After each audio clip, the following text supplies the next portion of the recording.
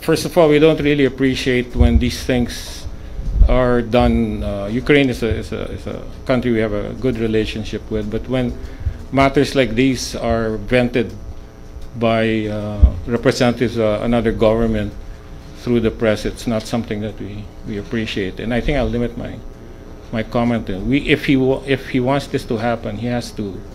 Uh, we have to discuss it. Uh, these things are arranged. The talking points are discussed. There's pre-discussion. I. Um, it's not good diplomatic practice to uh, be doing it the way the way he did. I, I think I'll leave it at that. Thank you.